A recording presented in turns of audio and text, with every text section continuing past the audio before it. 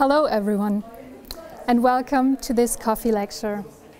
My name is, as said, Kerstin Dresing and I teach intercultural com competence at the JLU Center for Competence Development. I was happy to be invited to hold this talk about the impact of culture on how to feel at home abroad. So let's see what I prepared for you. Some in the field of cultural studies define culture as a backpack. You carry it with you all your life. It is filled with useful behaviors, values and attitudes. Throughout your life, you are constantly packing and unpacking what is needed for the cultural settings along the way. Since you all have chosen to listen to this lecture, I assume that you are either a student for whom studying in Gießen means living abroad, or you are maybe planning to study abroad in the near future. What can you expect from this talk? I would like to give you five tips on how to feel at home in a new environment. You could think of them like some postcard reminders that might be useful to put in your personal backpack before you head off, or while you are trying to settle in. So here's my first tip. Find out who you are. Why it is important to know yourself? Because it can transform your cross-cultural experiences. As we venture into unfamiliar territory, customs, and perspectives, self-reflection can become a compass that guides our intercultural communication towards success.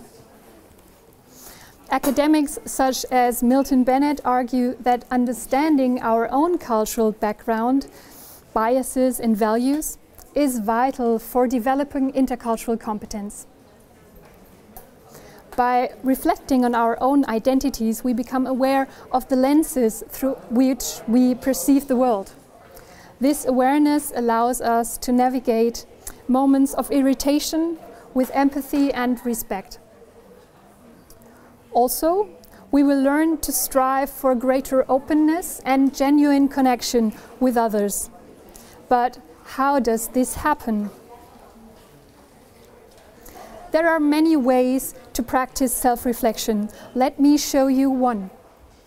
Hiller emphasizes that culture is a dynamic process and constantly negotiated between the communication parties. In The Star of Values, she describes a value continuum. Each value has a counter value.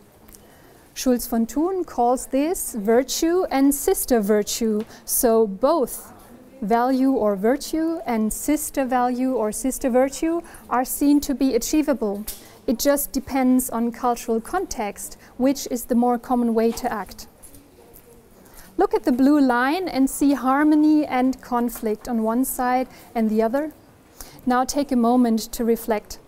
How would you self-assess your behavior in a particular situation where people have different goals? Would you rather take the bull by the horns or play nice to achieve your goal? If you are a more confrontational type, do you expect others to behave in the same way? Can you decode a conflict style different from yours?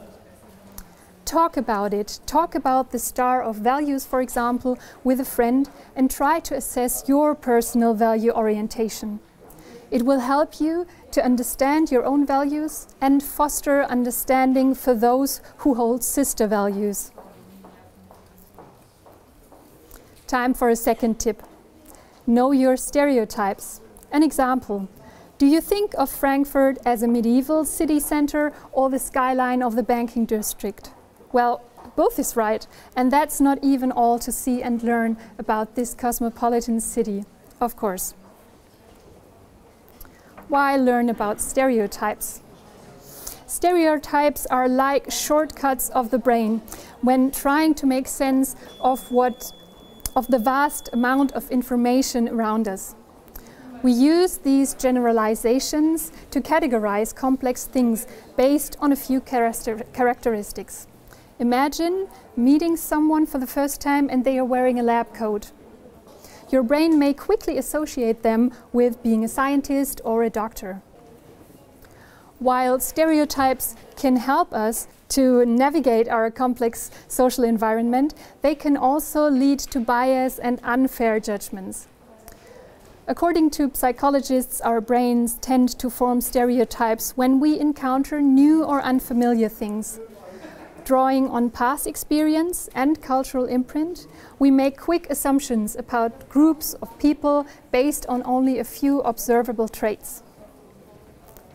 As research shows, these biases, expectations, and behaviors can influence our interactions and even limit opportunities for individuals or groups.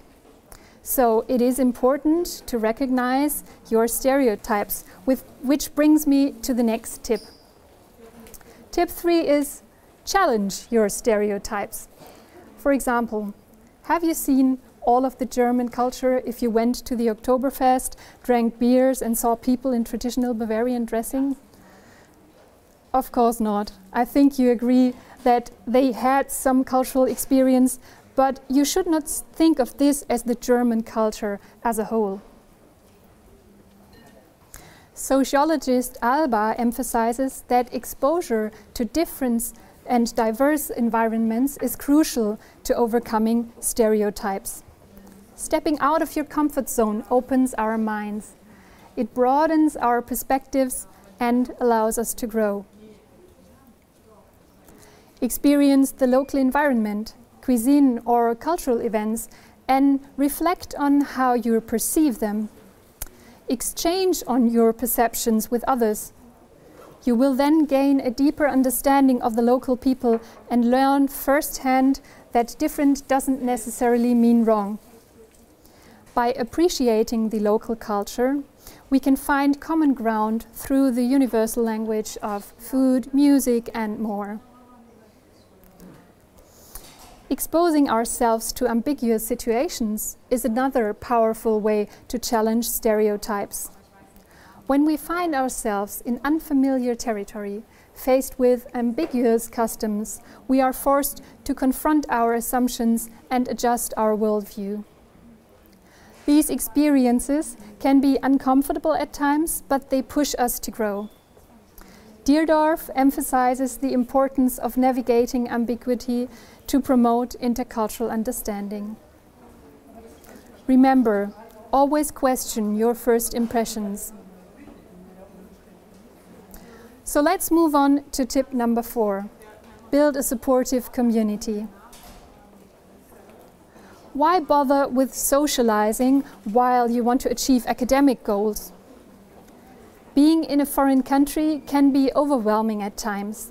However, having people around to support you gives you a network for, of individuals who understand your challenges, share your experience, and can provide guidance and support when you need it most.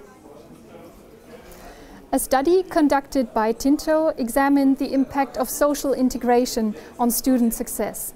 It found that students who were more socially integrated, meaning they had formed strong connections and support networks, were more likely to persist and achieve their academic goals. In other words, if you have a community that supports you, you are more likely to thrive academically and personally what opportunities does a student life and JLU in particular provide? Take advantage of language learning opportunities. Language bar barriers can be a significant challenge when studying abroad.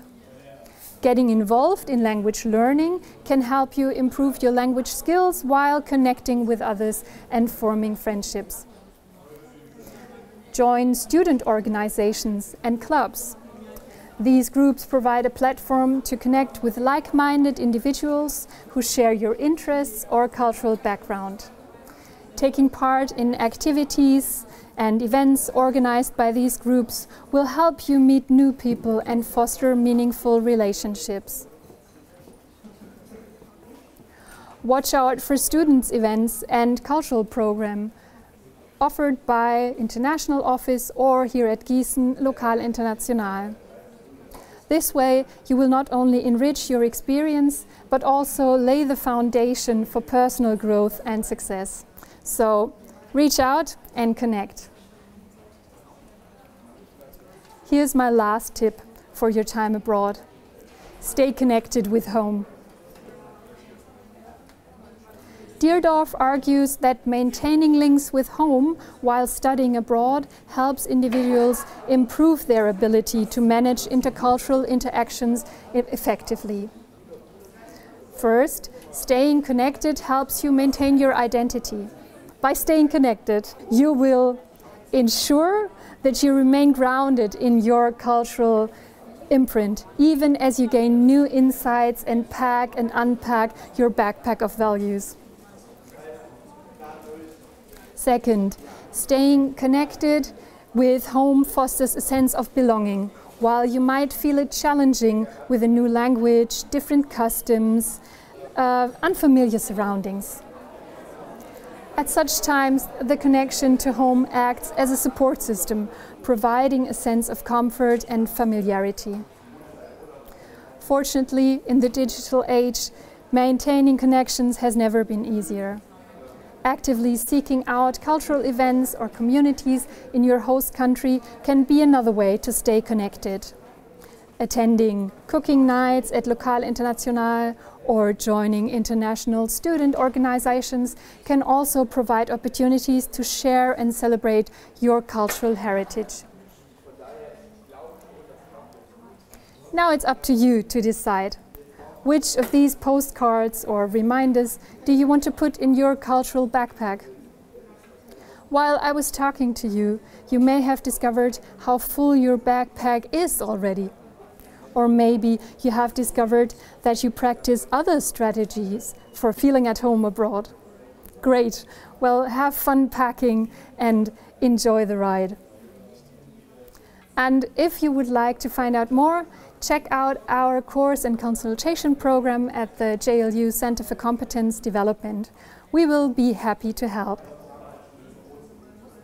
Thank you for your attention.